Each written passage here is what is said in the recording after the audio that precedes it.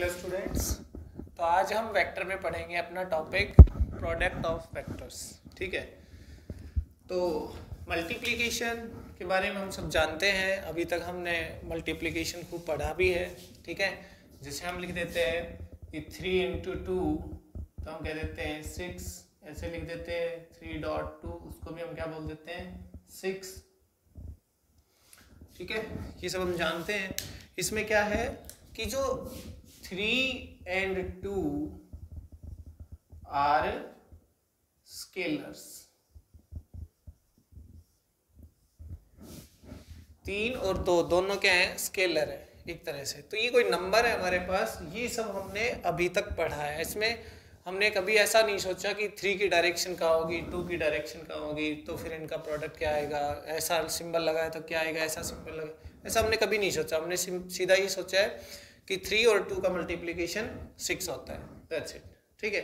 आज हम कुछ नया पढ़ेंगे इसमें कि अगर मान लो किसी वेक्टर को इंक्लूड किया जाए मल्टीप्लीकेशन में, कि देखिए कि if if vector is multiplied by a scalar by a scalar, then we get a vector again. Okay? जैसे मान लीजिए हमारे पास एक वेक्टर है ए ठीक है? इस वेक्टर ए को हमने क्या किया? टू से मल्टीप्लाई कर देते हैं इसको।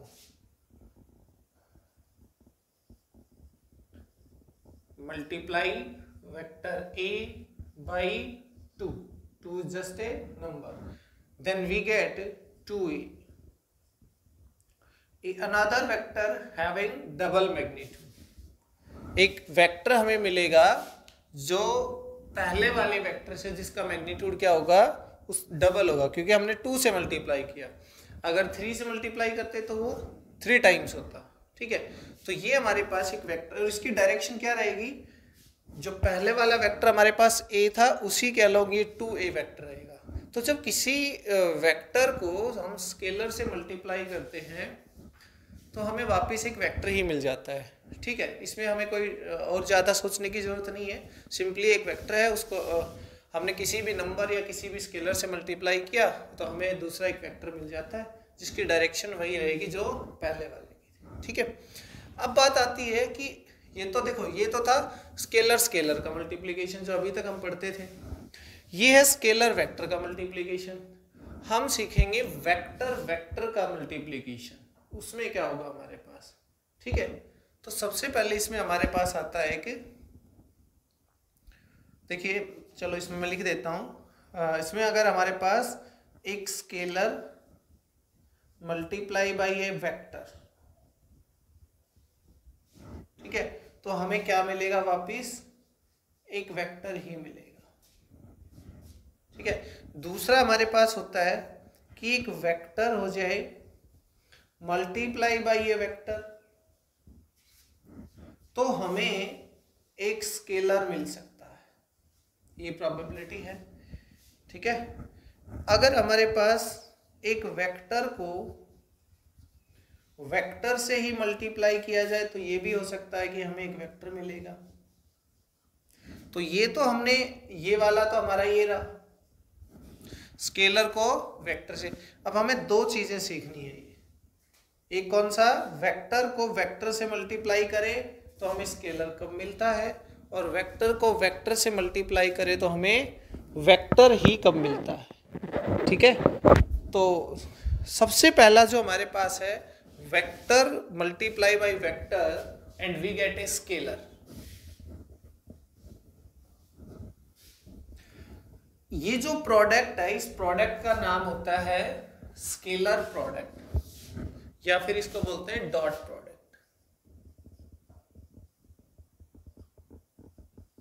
स्केलर प्रोडक्ट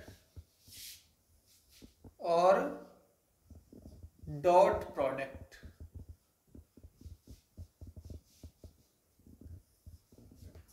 ठीक है? इसमें क्या होता है कि जब हमारे पास एक वेक्टर है ऐसे, एक ये, एक वेक्टर ए और ये वेक्टर ठीक है? अब देखिए, इन दोनों में हमें, हमने बता रखा है टेल और टेल के बीच एंगल लेना होता है ना? लेकिन टेल और टेल के बीच एंगल कौन सा लेंगे? ये भी टेल और टेल के बीच और ये भी तो जो छोटे वाला एंगल होता है, उसको लेते हैं हम इसमें। थीटा ये हमारे पास दो वेक्टर देखिए वेक्टर है तो डायरेक्शन भी होगी। दो वेक्टर है तो हमें पता करना पड़ेगा, उन दोनों वेक्टर आपस में किस एंगल पे लगे हुए हैं, ठीक है? तो ए और बी दो वेक्टर है। उनका हमें क्या करना है? Scalar product of vector A and B. Scalar product या इसको बोलेंगे डॉट प्रोडक्ट। डॉट का मतलब डॉट ही होता है यहाँ पे। कैसे देखिए? अगर ए डॉट बी कर दूँगे तो रिजल्टेंट आता है ए का मैग्नीट्यूड बी का magnitude cos of theta A का मैग्नीट्यूड बी का मैग्नीट्यूड कॉस ऑफ़ थीटा तो इसमें देखें तो ये स्केलर ये स्केलर और ये भी स्केलर तो ये टोटल रिजल्टेंट क्या है हमारे पास? एक स्केलर है। जबकि इधर वाली साइड क्या था? एक वेक्टर था और डॉट एक वेक्टर यहाँ डॉट का मीनिंग देखिए, जब किसी नंबर को मल्टीप्लाई करते हैं ना तो थ्री डॉट टू किया था हमने तो उसको भी सिक्स लिख रहे थे और थ्री क्रॉस टू किया था, उसको भी सिक्स लिख रहे थे। लेकिन जब वेक्टर की बात आएगी तो इनका अपना अलग अलग मतलब है यहाँ पे डॉट का मतलब यहाँ पे अलग है और वहाँ क्रॉस का मतलब अलग होगा दूसरे वाले में, ठीक है? तो एक वेक्टर का डॉट प्रोडक्ट किया हमने, एक वेक्टर के ही साथ तो हमें क्या मिलता है? एक स्केलर मिलता है, ठीक है? तो ये स्केलर क्वांटिटी मिली हमें दो वेक्टर के प्रोडक्ट से, इसीलिए इसका नाम क्या है? Scalar product. ओके? तो देखिए if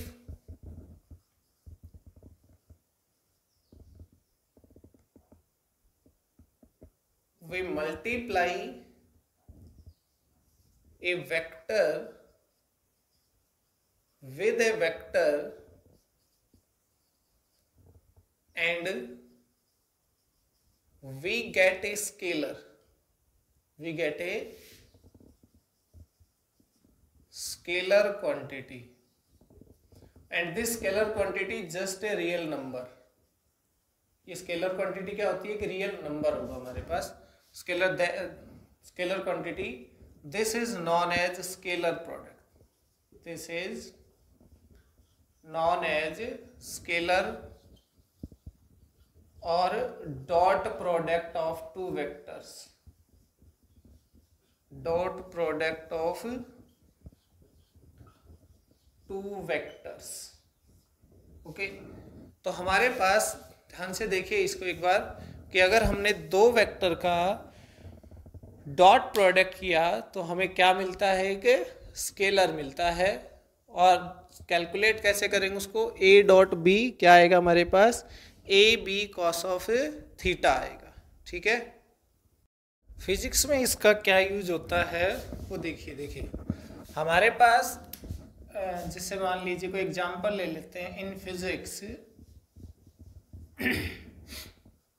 we define some scalar physical quantities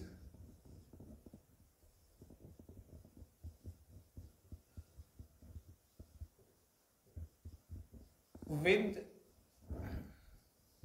the help of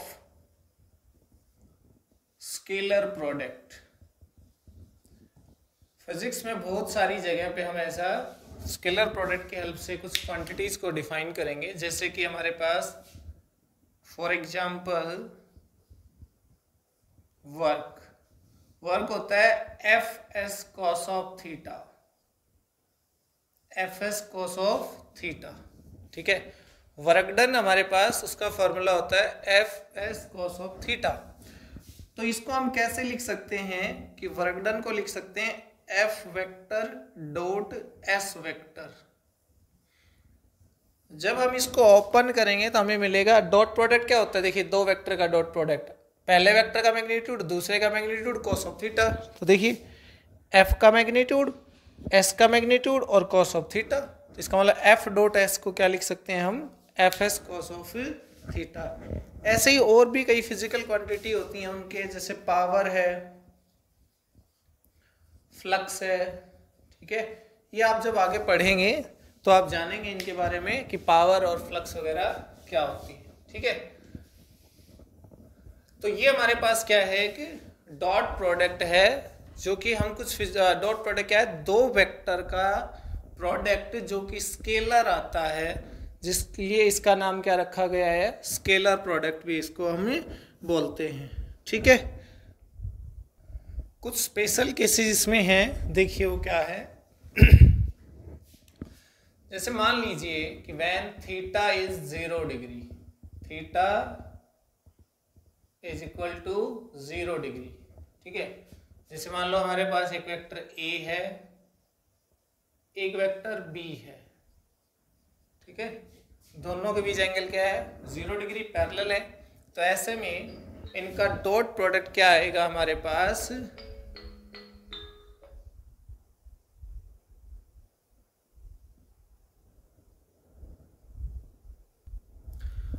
इनका डॉट प्रोडक्ट आएगा A dot B A magnitude B magnitude याद है ना? बिना मोड के भी हम सीधा लिख सकते हैं। अब हमें पता है ये ए वेक्टर है, ये ए है। तो ये ए क्या है? इस ए वेक्टर का मैग्नीट्यूड साथ में कॉस ऑफ़ ज़ीरो डिग्री और cos zero degree you all know one होता है। ठीक है? तो ए डॉट बी क्या हो जाएगा हमारे पास? ए बी हो जाएगा। और ये जो डॉट प्रोडक्ट का रिजल्टेंट होता है ना ये मैक्सिमम होता है। ठीक है? सेकंड इसमें है कि व्हेन थीटा इज़ 180 डिग्री मान लीजिए वेक्टर ए ये है और वेक्टर बी ये है। तो दोनों के बीच एंगल कितना है? 180 तो ऐसे केस में हमारे पास ए डॉट बी क्या आ जाएगा? A B cos of 180 degree cos 180 degree क्या होता है? माइनस वन ये हो जाएगा minus A B. A dot B. ये क्या होता है? मिनिमम होता है इसमें। Dot product. और एंगल अगर कितना हो जाए? 90 डिग्री। इफ़ थर्ड केस में इफ़ थीटा इज़ 90 डिग्री, इसका मतलब है कि दो वेक्टर अगर राइट right एंगल पे हैं एक दूसरे के साथ vector A, vector B, angle 90 degree, ठीक है? तो ऐसे में ए डॉट बी क्या आएगा? ज़ीरो आएगा। क्यों ज़ीरो आएगा? क्योंकि कॉस 90 क्या होता है? ज़ीरो होता है। तो कोस नाइन्टी ज़ीरो तो सारी टर्म ही क्या हो जाएगी? ज़ीरो हो जाएगी। ये वाला जो रिज़ल्ट मैं लिख रहा हूँ, ये हमें कई जगह पे काम आएगा। जैसे कि दो वेक्टर दे दिए जाए, मान लो हमारे पास इसी केस का एक एग्ज़ाम्पल कर रहे हैं, ठीक है? तो एग्ज़ाम्पल ए वेक्टर हमारे पास है two I cap plus three J cap plus K cap okay and B vector is equal to two I cap plus M J cap plus two K cap चलिए माइनस कर minus two K अच्छा चलो इस example को ना हम एक method और सीखने के बाद करते हैं। अभी आपसे नहीं होगा।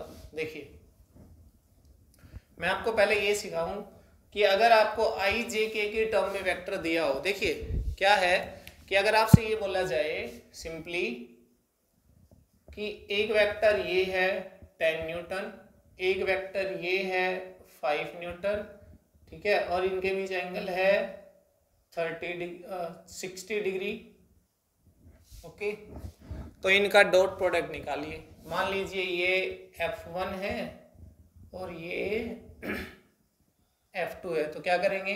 F1 डॉट F2 हम इनका क्या फाइंड आउट कर डॉट प्रोडक्ट अब इस सिचुएशन में क्या है कि मैग्नीट्यूड्स दे रखे हैं और एंगल भी दे रखा है। हमें मैग्नीट्यूड्स क्या दे रखे हैं? फाइव एफ़ वन क्या है?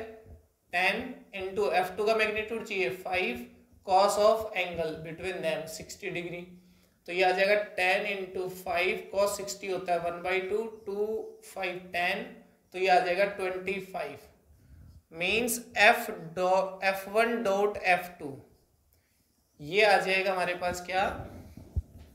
एक डॉट प्रोडक्ट आ गया टेन न्यूटन और फाइव न्यूटन का, जो कि सिक्सटी डिग्री पे एक्ट कर रहे थे। ठीक है? ऐसे में अगर सिचुएशन कुछ इस तरह की दे दी जाए, ये भी तो दो वेक्टर ही है ना हमारे पास। तो ऐसा हो तो एक एग्ज़ाम्पल इसका देखिए सिंपल करते हैं। ए वेक्टर अगर है I cap plus J cap minus K cap B vector हमारे पास है two I cap minus J cap plus three K cap okay और आपको बोला जाए कि ए डॉट बी करना है आपको। ठीक है? तो आप सिंपली क्या करेंगे इस केस में? देखिए, ये आता कैसे है, ये मैं आपको एक और स्टेप के बाद बताऊँगा। ये बट इसमें मैं आपको सीधा बता रहा हूँ ताकि वो एग्ज़ाम्पल सोल्व हो जाए हमसे कि कैसे हम 90 डिग्री वाले को यूज़ कर सकते हैं। ठीक है? तो देखिए, इसमें क्या करना होता है? आई आई वाले कंपोनेंट को मल्टीप्लाई कर दो। टू और वन टू प्लस वन और माइनस वन माइनस वन देखिए इसका कंपोनेंट माइनस वन है, इसका वन है तो क्या आ जाएगा? वन और माइनस वन माइनस वन फिर आएगा प्लस थ्री और minus one minus three I I के कंपोनेंट मल्टीप्लाई कर दो जे जे के और के के के। ठीक है? हमारे पास फाइनली क्या आ जाएगा ये? Two minus one minus three इसका मतलब आ गया minus four minus minus two इसका क्या आ गया? डॉट प्रोडक्ट आ गया। अब ये आई आई का मल्टीप्लाई क्यों किया? जे जे का के के का, ये हम सीखेंगे।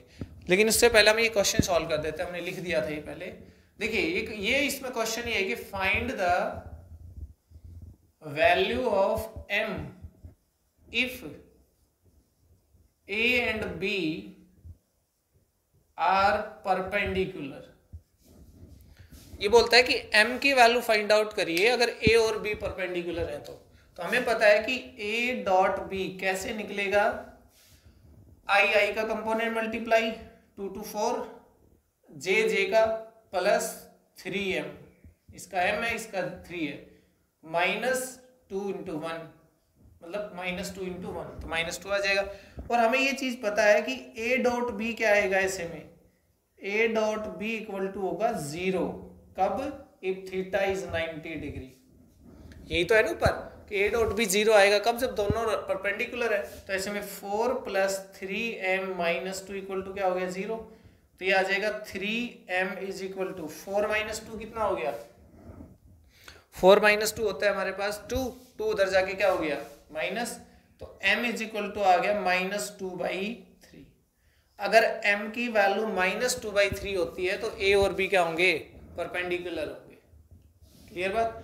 तो ये हमारे पास राइट एंगल पे जो दो वेक्टर है, उनका यूज़ इस तरह से, कि दो वेक्टर में कुछ हमें फाइंड आउट करना हो और सिचुएशन ये दे रखी हो कि वो दोनों परपेंडिकुलर हैं तो हम उनके जो डॉट प्रोडक्ट है दोनों वेक्टर का, उसको ज़ीरो के इक्वल पुट कर देंगे। क्लियर बात? उसके बाद इसमें देखिए डॉट प्रोडक्ट ये एक तरह से नंबर फोर ले लीजिए इसको। Dot product of orthogonal unit vectors. Unit vectors. ठीक है? ऑर्थोगोनल यूनिट वेक्टर क्या थे याद करिए? वो हमारे पास होते हैं I cap, J cap, and K cap. जो वेक्टर जो unit vector perpendicular to each other हो mutually perpendicular to each other तो वो हमारे पास क्या होते हैं? ऑर्थोगोनल यूनिट वेक्टर्स बोलते हैं उनको। इनका डॉट प्रोडक्ट करें तो कैसे होगा? देखिए। अगर मैं कहता हूँ कि आई डॉट जे तो बताइए क्या आएगा? आई और जे दोनों परपेंडिकुलर है ये तो? और परपेंडिकुलर वाले का डॉट प्रोडक्ट क्या आता है? ज़ीरो ऐसे ही मैं कर दू जे डॉट के जे और के भी परपेंडिकुलर है। आपस में 90 डिग्री पे है म्यूचुअली परपेंडिकुलर है तो सारे ही। तो ये भी क्या आएगा? ज़ीरो ठीक है? ऐसे ही अगर मैं कर दूँ कि के डॉट आई तो ये क्या आएगा? ये भी ज़ीरो इसका मतलब है कि ऑर्थोगोनल यूनिट वेक्टर्स का डॉट प्रोडक्ट क्या आएगा हमारे पास? ज़ीरो है। अब आई डॉट जे है तो जे डॉट आई क्या होगा? वो भी ज़ीरो होगा। ठीक है? तो ये क्या है? ऑर्थोगोनल यूनिट वेक्टर्स का dot product I dot J क्या होगा? जे डॉट आई क्या होगा? ठीक है? तो और उसके बाद मैं आपको जो ये ये ज़ीरो ये डॉट प्रोडक्ट कैसे किया था वो सिखाता हूँ, ठीक है? क्योंकि अब हमें पता चल गया ना आई डॉट जे क्या होगा? जे डॉट के क्या होगा? के डॉट आई क्या होगा? क्लियर तो ए हम वहाँ भी कर सकते थे इसको ऐसे।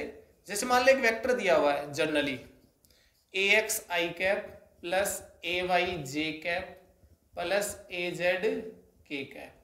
ये एक वेक्टर दिया हुआ है, ठीक है? बी वेक्टर वो है B X I cap plus B Y J cap plus B Z K cap, ठीक है? तो ए डॉट बी क्या आएगा?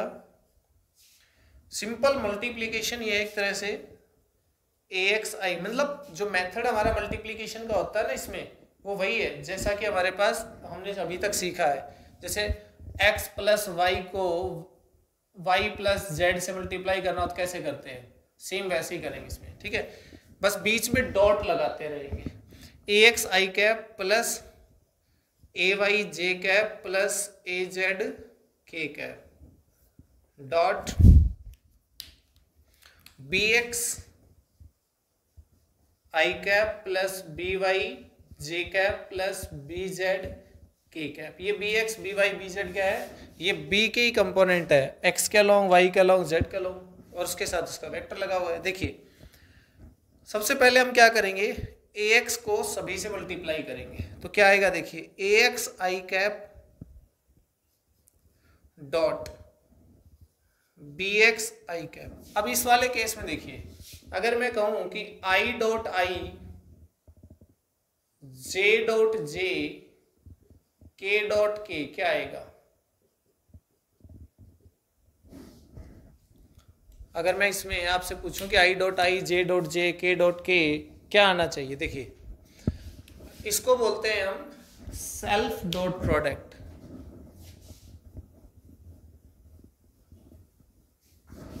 ये नंबर फाइव पे कर लीजिए। सेल्फ डॉट प्रोडक्ट मतलब वेक्टर का खुद के साथ ही डॉट प्रोडक्ट जैसे कि ए डॉट ए क्या आना चाहिए? ए मैग्नीट्यूड ए मैग्नीट्यूड है ना?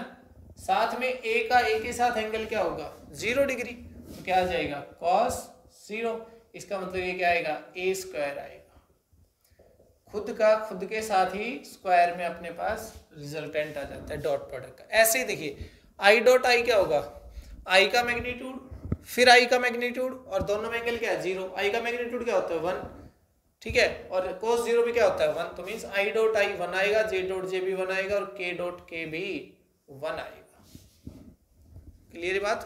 यहाँ से सेल्फ डॉट प्रोडक्ट का मतलब होता है वेक्टर का खुद के साथ ही क्या? डॉट प्रोडक्ट तो ए का ए के साथ डॉट प्रोडक्ट करेंगे तो ए का ए के साथ एंगल क्या होगा? ज़ीरो ना? तो कॉस ज़ीरो क्या होता है? वन ए क्या है? ये स्क्वायर हो गया। सेम ऐसे ही इनमें मैग्नीट्यूड वन वन ईयर कोस ज़ीरो भी वन होता है तो हमारे पास क्या आ जाएगा? वन तो इसका यूज़ इसमें होगा, ठीक है?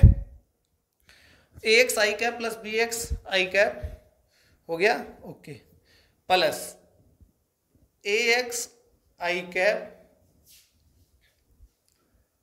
A X I cap को अब इसके साथ करेंगे ना dot B Y J cap फिर ए एक्स आई कैप को इसके साथ करेंगे plus A X I cap dot B Z K cap ठीक है?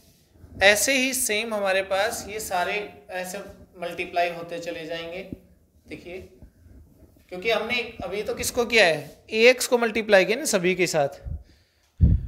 अब किसके करें? अब हम ए वाई को इन सभी के साथ मल्टीप्लाई करेंगे, ठीक है? तो देखिए क्या आएगा। इसी से आगे कंटिन्यू करते जाएँगे हम plus A Y J cap dot B X I cap clear plus A Y J cap dot B Y J cap plus A Y J cap dot B Z K cap plus अब किसका करेंगे? ए Z का इन तीनों के साथ?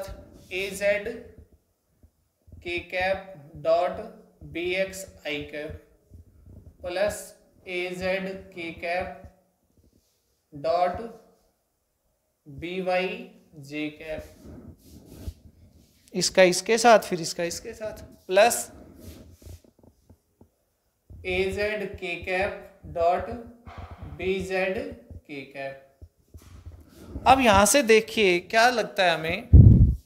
देखिए ये scalar है ये स्केलर है। इसको हम ले लेते हैं बाहर। बचेगा अंदर आई डॉट आई आई डॉट आई क्या होता है? वन। तो A X B X A X B X plus I dot J क्या होता है? आई डॉट जे तो ज़ीरो होता है। इसका मतलब है कि ये टर्म क्या हो जाएगी? ज़ीरो और आई डॉट के क्या? आई डॉट के या के डॉट आई कम्यूटेटिव होते हैं, अभी बताएँगे प्रॉपर्टी हम। तो आई डॉट आई आई डॉट के हो चाहे के डॉट आई हो, वो क्या होता है? ज़ीरो तो इसमें देखिए, जो आई आई के कंपोनेंट मल्टीप्लाई हुए थे हमारे पास ए एक्स बी एक्स वही आया। अगले वाले में ये भी ज़ीरो हो जाएगा और ये भी ज़ीरो हो जाएगा। सिर्फ़ जे जे वाला बचेगा। A Y B Y plus फिर इसमें सिर्फ़ के वाला बचेगा। ये दोनों ज़ीरो हो जाएँगे। क्लियर फिर आ जाएगा ए जेड बी जेड तो फाइनली ये वही चीज़ आ गई ना कि ए और बी का डॉट प्रोडक्ट कैसे करेंगे? आई आई का मल्टीप्लाई जे जे के कंपोनेंट मल्टीप्लाई प्लस के के के कंपोनेंट मल्टीप्लाई आई आई वाले जे जे वाले और के के वाले। ये हमारे पास क्या आ गया? एक्चुअली ए डॉट बी आ गया। समझ में आया? तो ऐसे हम क्या कर सकते हैं? डॉट प्रोडक्ट कर सकते हैं। जैसे सिंपली हम एक एग्जांपल और ले लें। क्या? एक वेक्टर हमारे पास ए है I cap minus J cap plus three K cap vector B है two I cap plus three J cap plus K cap मुझे फाइंड आउट करना है ए डॉट बी ठीक है? अब ए डॉट बी कैसे फाइंड आउट होगा इसके अंदर भाई? आई आई वाले कंपोनेंट मल्टीप्लाई कर दो टू माइनस जे जे वाले कंपोनेंट मल्टीप्लाई कर दो माइनस थ्री के के वाले प्लस थ्री ये कैंसिल आउट क्या आया? Two one two three minus one minus three three one three हमारे पास फाइनली क्या आ गया? टू ए डॉट बी ऐसे हम क्या कर सकते हैं? डॉट प्रोडक्ट फाइंड आउट कर सकते हैं। किसी, किन्हीं दो वेक्टर का जो आई जे और के के टर्म में हमें दिए हुए हैं, ठीक है?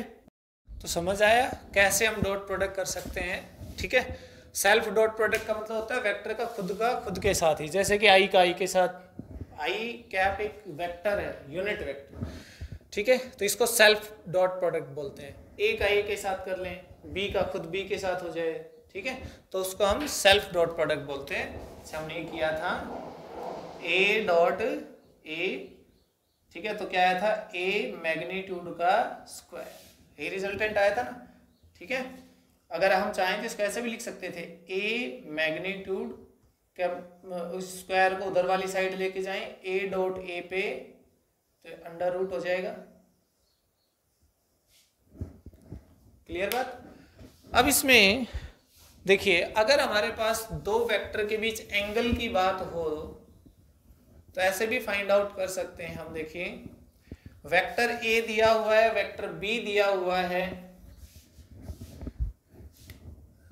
ए डॉट बी ये हमारे पास होता है A B cos of theta ये हमने फाइंड आउट कर लिया। ये हमें पता है कि ये ऐसे इसका डॉट प्रोडक्ट होता है, ठीक है? अगर मैं कहूँ कॉस थीटा क्या हो जाएगा तो आप क्या होगे? A dot B divide by A B है ना? कैसे? देखो, कोई वेक्टर दे दिया जाए A vector I plus J plus K B vector दे दिया जाए two I plus three J plus K minus K ले। ठीक है, और आपसे पूछा जाए find the angle between A and B find the angle between A and B तो आप क्या करेंगे? आपको पता है कि कोस थीटा का फॉर्मूला होता है A dot B divide by A B ठीक है? तो ए डॉट बी हमने सीखा फाइंड आउट करना। आई आई वाला मल्टीप्लाई जे जे वाला मल्टीप्लाई के के वाला मल्टीप्लाई ठीक है? ए और बी क्या है? ए का मैग्नीट्यूड है बी का मैग्नीट्यूड है ओके तो देख ए का मैग्नीट्यूड क्या आएगा? इसके कंपोनेंट का स्क्वायर प्लस जे के कंपोनेंट का स्क्वायर प्लस के के कंपोनेंट का square under the root means one plus one plus one root three हमारे पास क्या आ गया? ए का मैग्नीट्यूड आ गया। ऐसे ही बी का मैग्नीट्यूड ले लो। क्या आएगा? टू का स्क्वायर, थ्री का स्क्वायर माइनस वन का स्क्वायर। टू का स्क्वायर प्लस अगला कंपोनेंट थ्री का स्क्वायर प्लस माइनस वन का स्क्वायर। के का कंपोनेंट क्या है? माइनस वन है। तो ये आ जाएगा two two four plus nine plus one nine ten fourteen root fourteen B का मैग्नीट्यूड आ गया। और ए डॉट बी क्या आएगा? देखिए ए डॉट बी देखिए तो। टू ए डॉट बी होता है आई आई का कंपोनेंट का मल्टीप्लाई कर दो इसमें, दोनों में। Two into one two plus three into one three minus one into one one ठीक है? ये आ गया हमारे पास फाइव माइनस वन फोर ये ए डॉट बी आ गया। अब आप इजीली क्या फाइंड आउट कर सकते हैं? कॉस थीटा फाइंड आउट कर सकते हैं। Cos theta is equal to A dot B मतलब four by root three and root fourteen यह आ जाएगा four by root forty two तो थीटा क्या आ जाएगा? Cos inverse four by root forty two theta क्या आ जाएगा? Cos inverse four by root forty two randomly हमने डाटा लिया हुआ था हमारे पास, ठीक है? तो इसलिए एग्जैक्ट वैल्यू नहीं निकल पाई। तो हम क्या करेंगे इसको? इनवर्स में छोड़ देंगे। तो ऐसे हम दो वेक्टर के बीच जो आई जे और के की टर्म में दिया हुआ है हमें, उनके बीच क्या एंगल हो सकता है, उस एंगल को भी फाइंड आउट कर सकते हैं। ठीक है?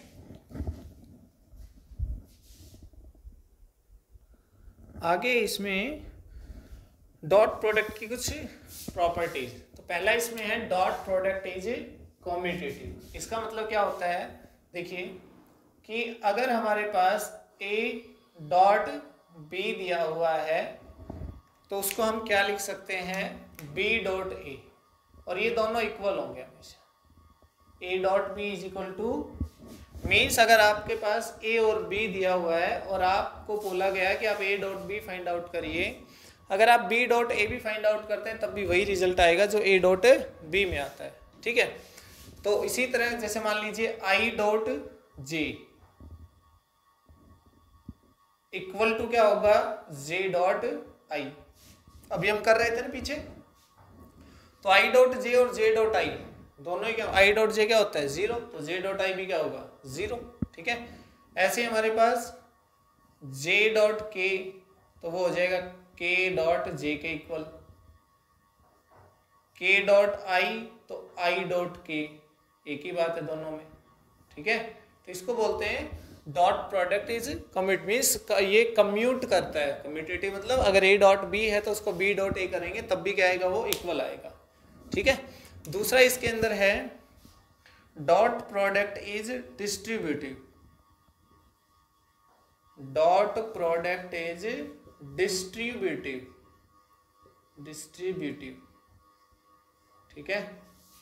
Dot product distributive in the sense कि अगर मान लो A dot B plus C दिया हुआ है तो उसको क्या लिखेंगे? हम लिखेंगे उसको A dot B plus B dot C ये दोनों इक्वल होंगे वेक्टर ठीक है? तो इसको क्या बोलते हैं? डॉट प्रोडक्ट ये डिस्ट्रीब्यूटिव प्रॉपर्टी होती है कि A dot B plus C को हम क्या लिख सकते हैं? A dot B plus B dot C clear तो ये इसको ओबे करता है। अगर आपने ये फाइंड आउट किया या फिर आपने ये तो क्या हो गए वो? सेम ही होंगे ठीक है? उसके बाद इसके अंदर वो जो राइट एंगल वाला था, वो हम पढ़ चुके हैं कि डॉट प्रोडक्ट में जो राइट एंगल है, अगर दो वेक्टर राइट एंगल पे होते हैं तो उनका क्या आता है हमारे पास? रिजल्टेंट ज़ीरो आता है डॉट प्रोडक्ट में। ठीक है? उसके बाद इसमें ना एक दो क्वेश्चंस हम देखते हैं। ठीक है? देखिए, ये कहता है कि इफ़ एक दो एग्ज़ाम्पल कर लेते हैं डॉट प्रोडक्ट के ये बोलता है कि इफ़ ए प्लस बी का मोड किसी पे मोड लग जाता है, उसका मतलब आप समझते होंगे कि उसके मैग्नीट्यूड की बात कर रहे हैं, ठीक है? ए प्लस बी का मोड इक्वल टू है ए माइनस बी के मोड के। इक्वल टू क्या है? ए माइनस बी मोड तो उसने पूछा है then angle between A and B then find angle between A and B ठीक है? तो ए और बी के बीच एंगल क्या होगा वो बताना है हमने। क्लियर तो देखिए सॉल्यूशन में अगर a प्लस बी है इक्वल टू ए माइन ये माइनस है। A minus B A vector minus B vector का मोड तो इसमें दोनों साइड स्क्वायर कर लो। Squaring on both sides squaring on a both sides अगर हम दोनों साइड स्क्वायर करते हैं तो देखिए हमारे पास क्या आएगा इसके अंदर। आपको वेक्टर एडिशन याद है? देखिए A plus B A plus B A vector plus B vector उसका मैग्नीट्यूड कैसे निकालते थे हम? A square plus B square plus two A B cos of theta under the root ये क्या था? A vector plus B vector का mod लेकिन हमारे पास तो क्या है? स्क्वायर भी है। तो स्क्वायर कर दीजिए। ऐसे ही same A minus B A vector minus B vector का क्या करते थे? देखिए, हम कहते थे A square plus B square minus two A B cos of theta और अंडर द रूट भी होता था। और अब इसका क्या है? स्क्वायर है। भाई मैंने आपको सिखाया हुआ है कि A vector plus B vector का मैग्नीट्यूड कैसे निकालते हैं? A square plus B square plus two A B cos of theta लेकिन इसका तो स्क्वायर भी है तो हम उसका स्क्वायर भी कर देंगे। तो रूट तो आएगा ही उसके अकॉर्डिंग इस पे साथ के स्क्वायर से रूट क्या हो गए दोनों जगह कैंसिल आउट तो देखिए A square plus B square plus two A B cos of theta is equal to A square plus B square minus two A B cos of theta A square B square दोनों side cut गए। Cancel out ए ने ए square ने square को मार दिया B square ने B square को। ये वाला इधर आके प्लस हो जाएगा तो ये टोटल हो जाएगा four A B cos of theta two A B cos of theta ये और ये इधर आके प्लस का हो गया इक्वल टू ज़ीरो मैं इस फोर को अगर छोड़ दूँ तो मैं इसको ऐसे लिख सकता हूँ ए डॉट बी मतलब फोर को हम मल्टीप्लाई में रख लें। A dot B equal to zero क्या ये वही है? देखो क्योंकि मैं ए डॉट बी को ओपन करूँगा तो वापिस से क्या आएगा मेरे पास? ए बी कोस थीटा ही आएगा ना? और ये A dot B equal to zero है। फोर का कोई रोल नहीं है, क्योंकि four not equal to zero या तो फोर ज़ीरो की इक्वल हो या A dot B equal to zero four तो ज़ीरो हो नहीं सकता तो ए डॉट बी ज़ीरो इसका मतलब है कि ए परपेंडिकुलर बी है। ये आपका आंसर आ गया। मीन्स ये दोनों 90 डिग्री पे हैं। तभी ये ज़ीरो आ सकता है। ये हमने पढ़ा है। दोनों वेक्टर अगर 90 डिग्री पे हो तो उनका डॉट प्रोडक्ट क्या आता है? ज़ीरो और हमारे सामने A dot B A B cos of theta ही है। तो A dot B equal to zero इसका मतलब क्या है कि ए परपेंडिकुलर टू बी है ओके नेक्स्ट क्वेश्चन है कि if A A vector plus B vector dot A vector minus B vector equal to zero है then prove that A magnitude equal to B magnitude तो देखिए, इसमें क्या आएगा हमारे पास? A vector plus B vector dot A vector minus B vector equal to zero है ना? Okay हम इसका डॉट प्रोडक्ट करते हैं, अपना जो मल्टीप्लीकेशन का रूल है उसके हिसाब से A dot A minus A dot B plus B dot A minus B dot B equal to zero ठीक है? तो देखिए ए डॉट ए क्या आएगा? याद करिए self dot product A square आएगा माइनस ए डॉट बी ये प्लस बी डॉट ए को क्या मैं minus sorry plus A dot B लिख सकता हूँ। कहने का मतलब ये है कि ये जो b डॉट ए है, उसको a डॉट बी लिखा जा सकता है ना? कौन सी property commutative property minus B square equal to zero ये b dot B B square ही तो आएगा। तो ये देखिए, ये कैंसिल आउट हो गए a डॉट बी माइनस में और प्लस में a डॉट बी तो हमारे पास क्या आया? A square minus B square equal to zero इसका मतलब A square equal to B square इसका मतलब ए इक्वल टू बी ये मैग्नीट्यूड है। ठीक है? तो ऐसे हम डॉट प्रोडक्ट के कुछ क्वेश्चंस को सॉल्व कर सकते हैं। और फिजिक्स में डॉट प्रोडक्ट का बड़ा इंपॉर्टेंस है। मैंने आपको एक एग्जांपल दिया भी था कि जैसे हम फॉर्मूला पढ़ते हैं वर्क डन का वो होता है F S cos of theta और यहीं से हम करेंगे उसको एफ़ डॉट एस हम ऐसे भी लिख सकते हैं और यहीं से बता देंगे कि ये वर्क डन जो है ना, एक स्केलर क्वांटिटी है। क्यों स्केलर क्वांटिटी है? क्योंकि हमें पता है कि दो वेक्टर का डॉट प्रोडक्ट जो भी आएगा, वो स्केलर आएगा। इसीलिए इसको स्केलर प्रोडक्ट बोलते हैं। जैसे मैग्नेटिक या इलेक्ट्रिक फ्लक्स भी होता है। चलिए, पावर के बारे में देख लेते हैं। पावर होती है हमारे पास एक्चुअली डब्ल्यू बाई टी ठीक है? तो डब्ल्यू हमारे पास क्या है? F dot S by T F dot और S by T distance upon displacement upon time क्या होता है? स्पीड सॉरी वेलोसिटी तो क्या हो गया? देखिए एफ़ एक वेक्टर क्वांटिटी है फोर्स वेलोसिटी एक वेक्टर क्वांटिटी है, दोनों वेक्टर का डॉट प्रोडक्ट किया तो एक थर्ड क्वांटिटी मिली, जिसको कि पावर कहते हैं बट दो वेक्टर का डॉट प्रोडक्ट वो पावर क्या होगी? स्केलर होगी। कहाँ से पता चलता है? स्केलर प्रोडक्ट से पता चलता है। तो इस तरह से हम मैग्नेटिक फ्लक्स होता है बी डॉट ए लिखते हैं उसको। जब कभी पढ़ेंगे तो हमें समझ में आएगा कि क्या होता है वैसे। लेकिन देखिए, फिर से ये क्वांटिटी क्या होगी? ये दो वेक्टर का डॉट प्रोडक्ट है तो ये मैग्नेटिक फ्लक्स फिर से क्या होगी? स्केलर। क्या है ये? Magnetic flux. तो डॉट प्रोडक्ट बड़ा इंपॉर्टेंट है हमारे लिए फिजिक्स में। काफ़ी यूज़ है इसका। तो इसको यहाँ तक कर लेना। ठीक है?